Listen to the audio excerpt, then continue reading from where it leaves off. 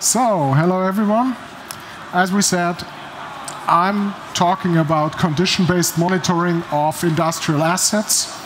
I'm sure every one of you has been facing this challenge, unplanned equipment downtime.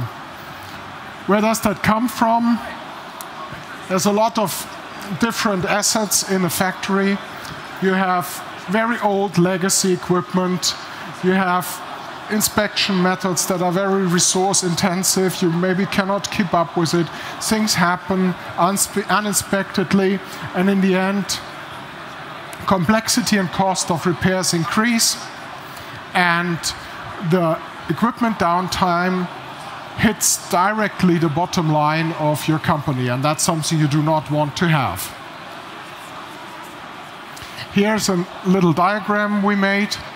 Can see at a certain time something happens, the condition starts to change, maybe vibration occurs, no one knows why, it's not detectable at that stage, but it's there. Then excessive friction comes up, noise, heat, in the end maybe fire, but uh, inevitably the machine fails and is no longer able to produce, and that costs you money. So machine condition monitoring is a really important part of keeping the digital factory alive, and it's a growing market.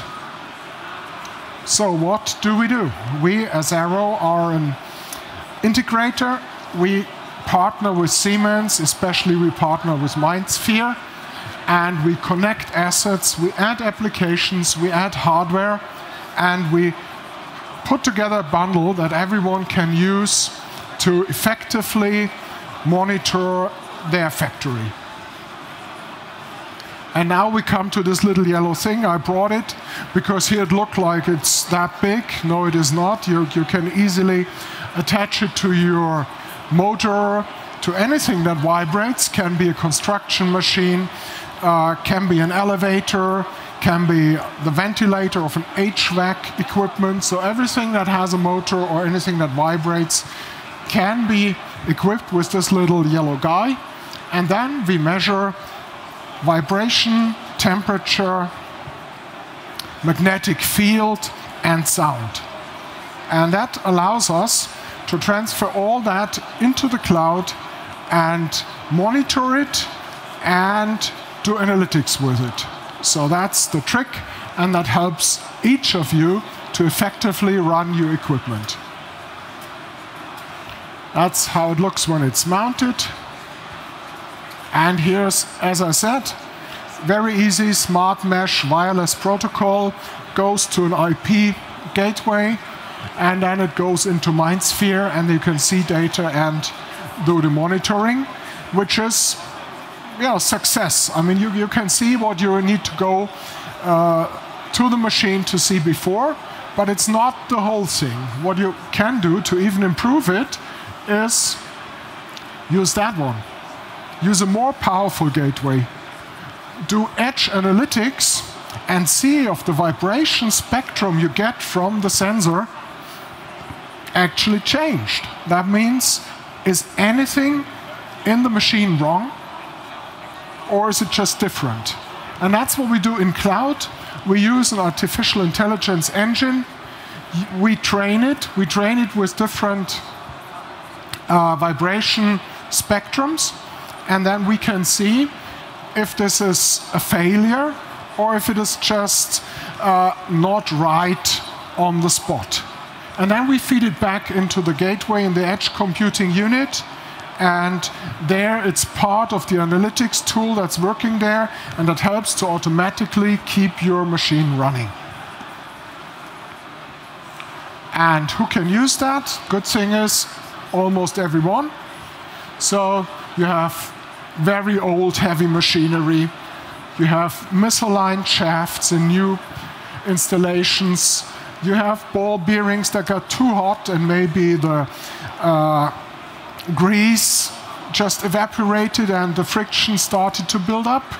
You have pipes and pumps, very important part of the installation and of the equipment all type of motors, and to the right, smart building HVAC equipment, also a very, very interesting market for that.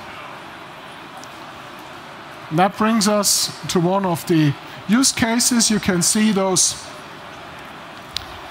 uh, ventilators typically sit on the roof of a house or a hall, uh, cooling equipment, so anything, but no one is going there, right? So you need to have a way to see what's going on there before it fails. And that's something that the apps in MindSphere can do and that our hardware can also do. Same to the right, it's an elevator moving uh, stairs. If the motor changes its behavior, I mean, every one of you knows those things are always broken. So it makes sense to uh, monitor them and give, their, give everyone a chance to enjoy the building more than he might be doing if the ventilation doesn't work and the elevator doesn't work. And to the end, if someone feels the need and the urge to immediately buy it, we have a starter kit. So you can buy the box, you can buy a dongle that plugs in every PC to get the wireless network into the PC. There's software included and a mounting kit. And everything can be watched first floor in the MindSphere Lounge. And we have it up and running, showing data in MindSphere and also showing analytics in MindSphere. Thanks to everyone. Have a good evening. Siemens, ingenuity for life.